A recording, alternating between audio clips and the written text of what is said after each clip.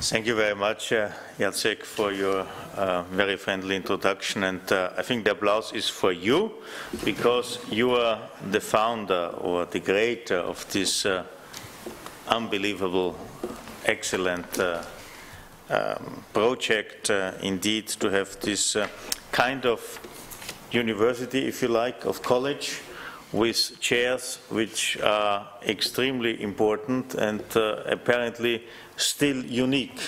So I would like to see, as I could write it down in the guest book, uh, some export of this idea around Europe because a chair about uh, European civilization is something apparently we need more than ever and uh, it's uh, important to pass knowledge, information, experience to young people and that's why I'm so grateful to have the opportunity to give uh, this speech, but uh, I hope, having listened to you carefully, uh, that here in the audience, one or the other might become one of my successors. Uh, because then you could really rely to an theoretical and academic uh, um, education uh, on this uh, field, which I don't have.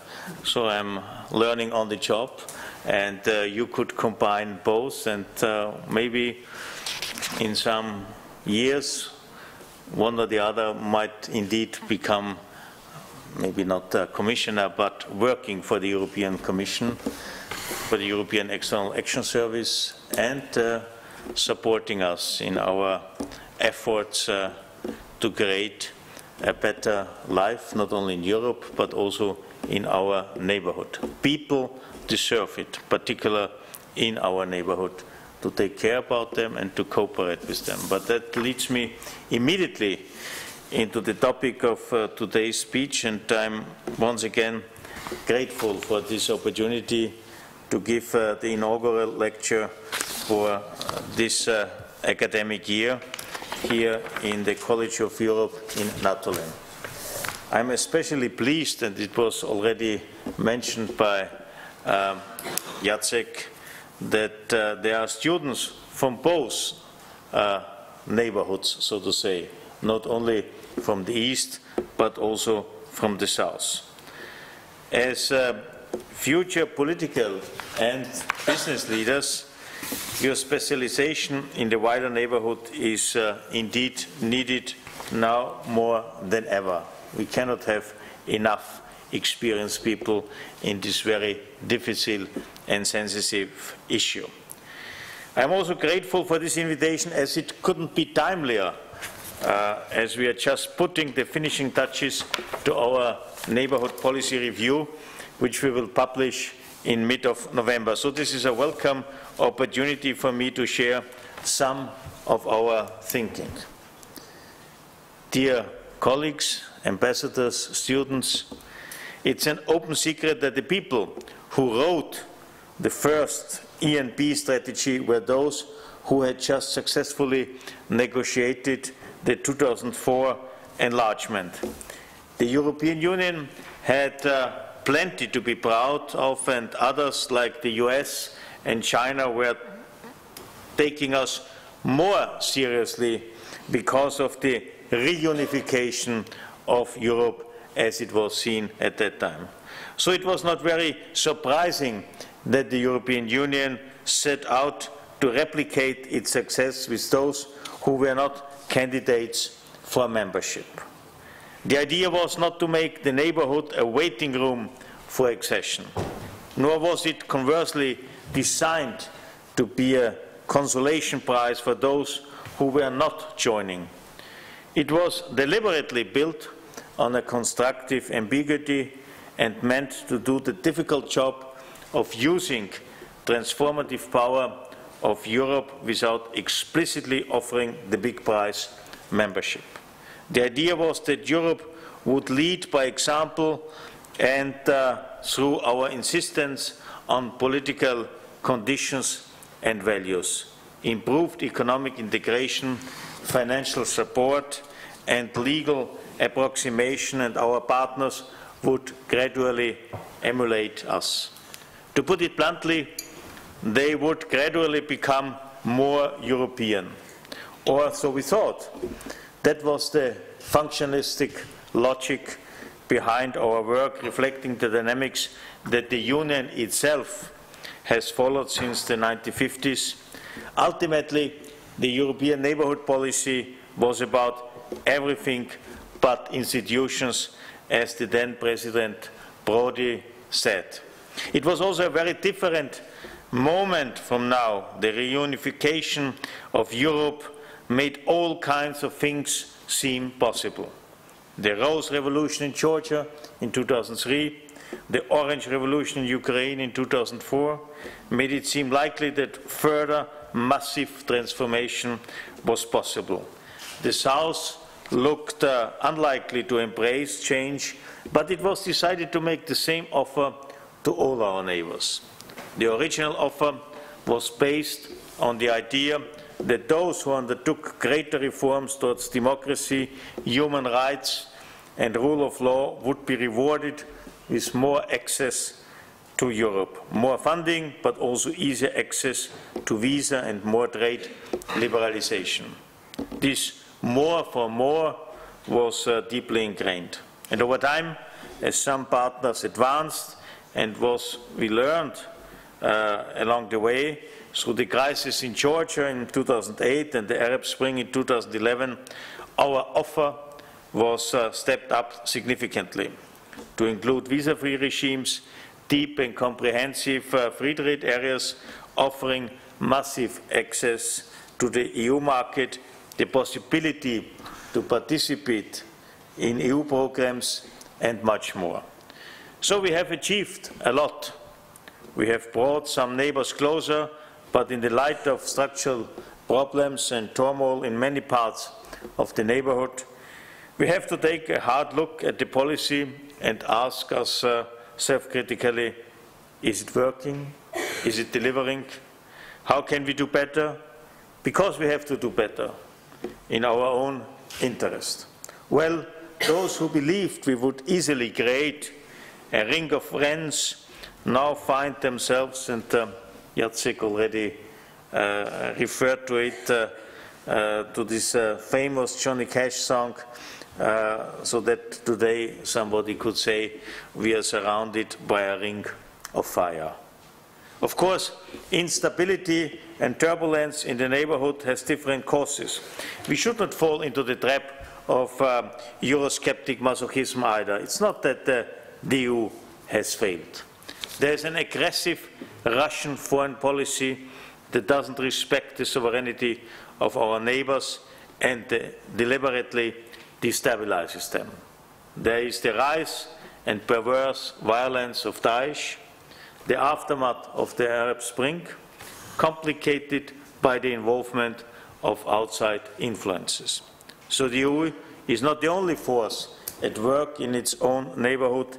Events have taught us that very clear. Even more fundamentally, we have uh, to make a reality check regarding the incredibly complex modernization challenge all our neighbors face. Because instability is as much the result of internal factors such as an inexistent rule of law, deeply rooted corruption, persistent economic underperformance, poor trading links between our partners, feeble administrations incapable of implementing reforms even when they have been adopted on paper. And in the East, the vested interests we call oligarchs. It's very hard for any country to prosper without these fundamentals. Talent and enterprise don't flourish, investment goes elsewhere. And it is very hard to make governance reforms stick in countries that uh, don't enjoy clear authority over all their territory. Nearly a year ago, we started consulting on the future of the European neighbourhood policy. We were very frank. The first question in the consultation document asked if we should continue at all. Overwhelmingly, the answer, and I was not really surprised, has been yes. But we have to change. But before giving you a sneak preview of the reform of ENP that we will be publishing later in the year, let me say a few words about the most, uh, uh, so to say, urgent and hot topic of today and the, next days, it's about migration. It's uh, indeed the defining challenge of the moment. There are 20 million, and we should be aware of that, 20 million refugees and internal displaced people in our neighborhood alone, out of around 60 million worldwide. So one third of all the refugees and internal, dis, internal displaced people are around Europe. And the 60 millions, by the way, is the highest number of refugees we have ever seen in human history. Even after World War II, we didn't have so many refugees like in 2015. Our key objective is therefore to help stabilize and to keep the hope of refugees to return to their homes alive. Let me underline two uh, key principles. First, money is crucial, but it won't do the trick alone. We need to use all our policy tools to address the root causes. Hence, the importance of a smarter, more effective European neighbourhood policy, which I will present in mid-November. Second, we must clearly distinguish between countries and not throw them into one pot. First, we have Syria and its immediate neighbors, Lebanon and Jordan. Then there is Turkey. And uh, if it comes to the current uh, very severe consequences, it's uh, about the Western Balkan countries. They are not a source, but they are also transit victims, if you like, an enclave within the European Union. But now, turning uh, to the reform of the ENP. The main changes to be proposed in the review will be, first, greater differentiation with the individual partners. Second, a sharper focus on areas of interest to our citizens and a focus on stabilization. Third, more flexibility in how we operate and more ownership uh, of our neighbors. Let me say a few words on some of these uh, building blocks. First, we have to differentiate. The idea that our power of attraction would eventually seduce all our neighbors has been proved inaccurate. We were too optimistic on that. Yes, we do have political pull in more romantic terms, our union is attractive, and if we can see it today, it's more than attractive. Everybody wants to come to, to Europe. None of our neighbors wants not to have a relationship with us. They simply couldn't afford it, politically and economically. But those who really want the deep integration opportunities on offer are in the minority. And even those who want to take the EU as some kind of benchmark for the reforms are only around half of our neighbors. Therefore, greater differentiation will require different styles of partnership with different neighbors, not the one-size-fits-all approach of the past. Those who want to seek deeper integration will continue to do so.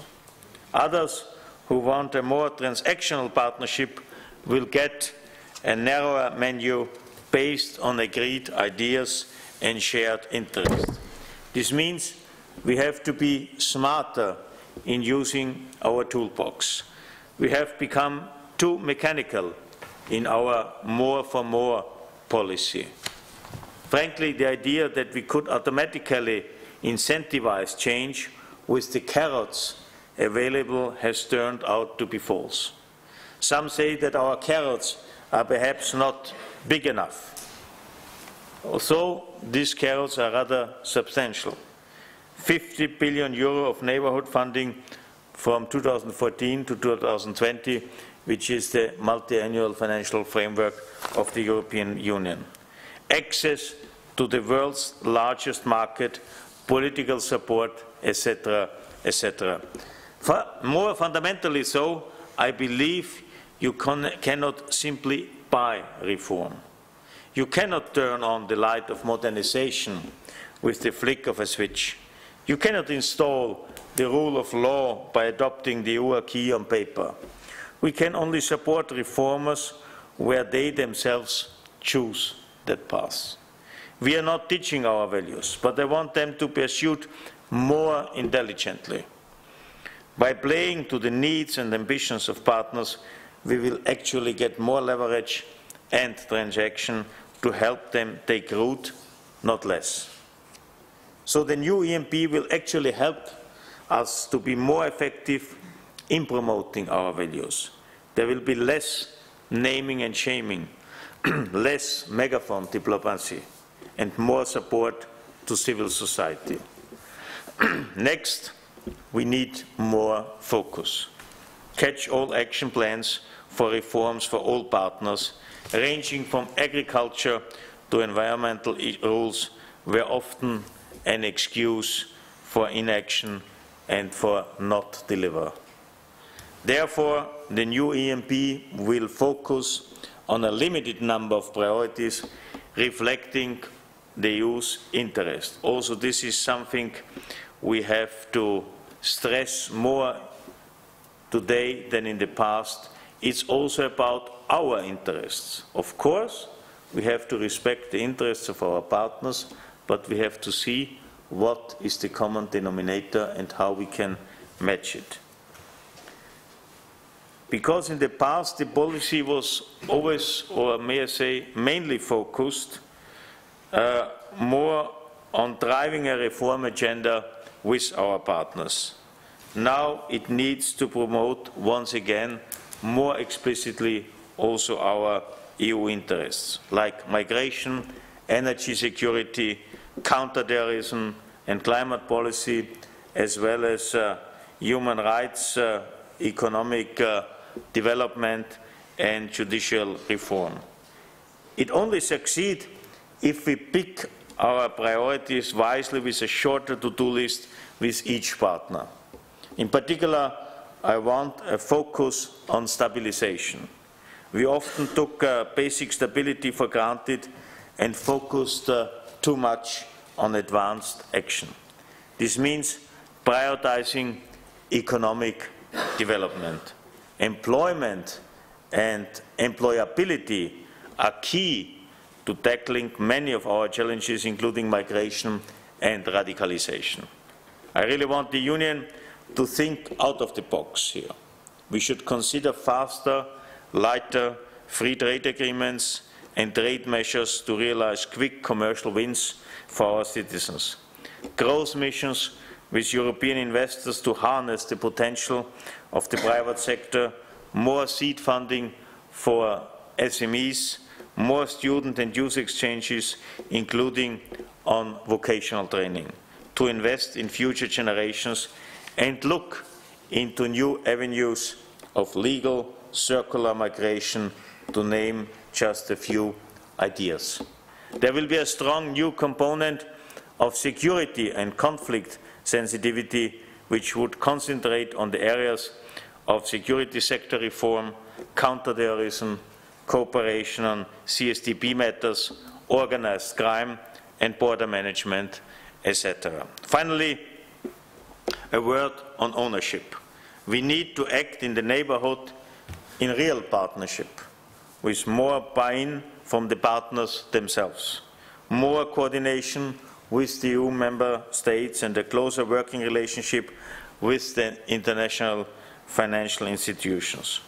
So I'm happy to announce already that uh, we will be able uh, to have cooperation on a contractual basis with the main international financial institutions, IMF, Monetary Fund, World Bank, EIB, EBRD, uh, because these four international financial institutions together with the European Union are in many of our neighboring countries the main financial investors, donors, however you might call it, and therefore it's so important to coordinate, so to say, our approach, our conditions, you can call it also incentives, towards a certain country in order not to arrive with different lists of conditions and so on, and to give the other side an excuse not to deliver.